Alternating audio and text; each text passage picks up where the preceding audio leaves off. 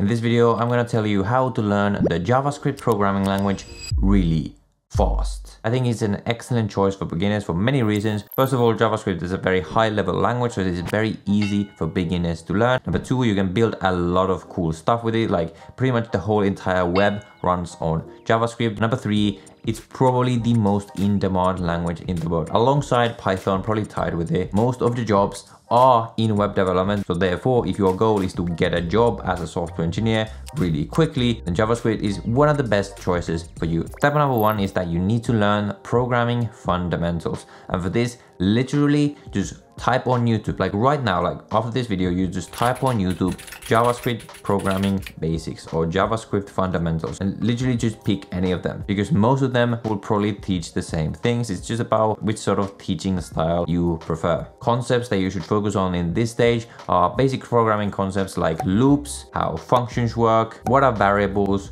what are types, how the program flows, what it actually means to run a function, to define a function, what are methods. At this point, if you're watching this video, I assume that you sort of decided that you wanted to get into web development because that is really the area where JavaScript shines. After you've done that, step two is to pick a web developer curriculum. For an excellent free option, I would choose the Odin project. I think it's probably the most popular online web developer curriculum. You just follow it at your own pace. It has a bunch of practice projects along the way. This is personally the curriculum that I did when I first started getting into web development. I actually didn't end up finishing it for reasons which we'll discuss in a moment. Other options include Free Code Camp. A lot of their courses are also JavaScript slash web dev focused. I personally did not enjoy Free Code Camp that much, but it's also a resource that many people enjoy. The downside with the Odin project and a lot of these free resources are that they're usually text-based. So essentially in the Odin project, each lesson it will be linking you to a lot of different external articles. And I found that studying by a sort of text-based articles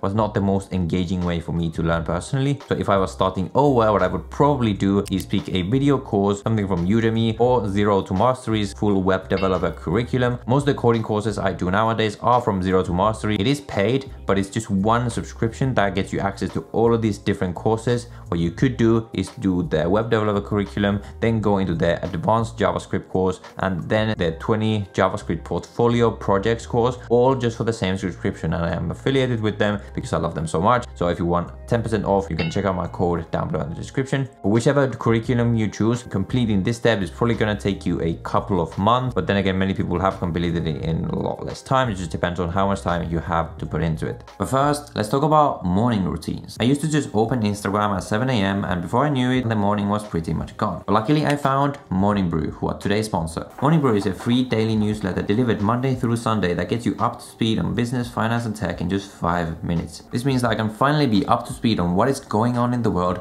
without having to spend time weeding through all the junk that I'm not actually interested in. And you can also learn some very interesting things here. Like for example, just today, I was reading about how meditation apps are going down in usage. And this was really interesting to me because I use these apps myself. So if you're interested in business, finance, or tech, there's literally no reason not to subscribe because it's completely free and takes only 15 seconds to sign up. So sign up for free by using morningbrewdaily.com slash internetmadecoder or click the link in the description. Thank you for Morning Brew for sponsoring this video and making these videos possible. With many other languages, at this point, I would recommend you to also learn computer science fundamentals by doing something like CS50. But I think if you're going into web development, learning computer science fundamentals, at least early on, is not nearly as important because when you're building websites, it's simply not that important to know like complex algorithms and data structures stuff. This is stuff you want to learn eventually. But at this point, if literally your goal is just to get a job as a web developer, I would probably just focus on learning programming and web development concepts first. Step number three is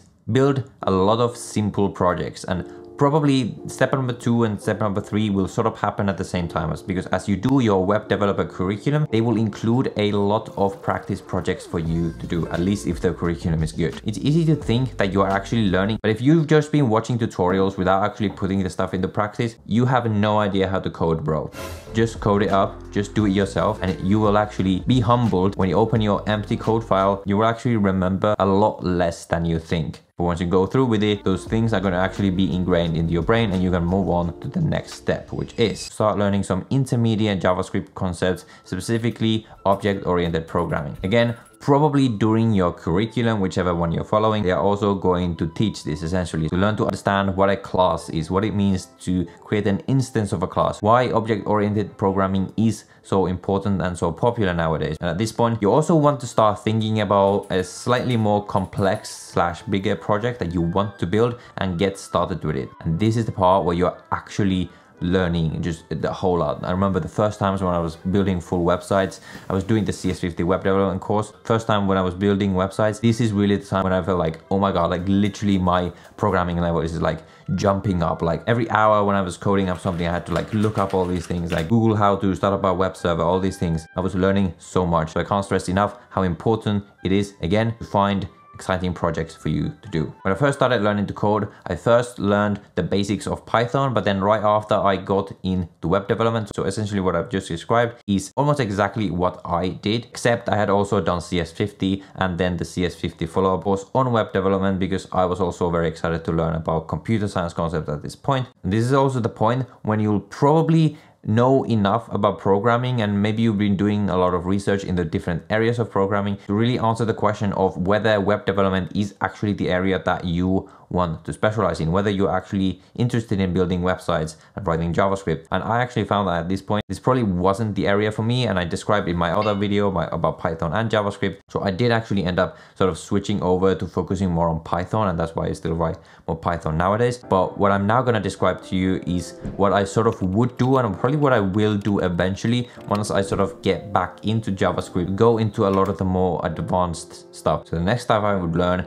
is some more advanced JavaScript JavaScript concepts, and then general concepts about modularizing your code and just writing better code. And as I'm starting my full-time job, I'll obviously be learning about a lot of these things along the way, whichever programming language I will be writing in my job, because a lot of the concepts are very similar across languages. And again, if you did the Zero to Mastery web developer curriculum before with the same subscription, they have a course on advanced JavaScript, which I actually plan to do at some point very soon, because there's a lot of holes there, which even I haven't really learned about JavaScript yet. After you do all of these steps, you're now going to be a pretty good JavaScript developer. Congratulations. But you still have a problem. Even if you build a bunch of really awesome portfolio projects to pass the resume stage, you're still not going to be able to get a job unless you learn to pass the dreaded coding interview. And to do that, you're finally going to have to learn some computer science concepts, namely data structures and algorithms because these are the things that most big tech companies actually test in their interviews. So it's absolutely crucial that you take the time to do that next. And luckily for you, I made this video right here where I described to you exactly how I learned data structures and algorithms as well as the exact step-by-step -step path that I recommend you take. I also have my own data structures and algorithms tutorials coming up on this channel where I describe in my own words how I understand these topics. So you absolutely must hit that subscribe button right now so that you don't miss them. But first you have to watch this video right here.